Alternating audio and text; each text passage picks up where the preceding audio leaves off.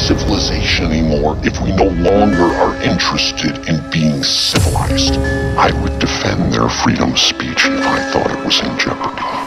I would defend their freedom of speech to tell uninspiring, bigoted, blowjob, gay bashing, racism they that's not the edge. That's what sells me.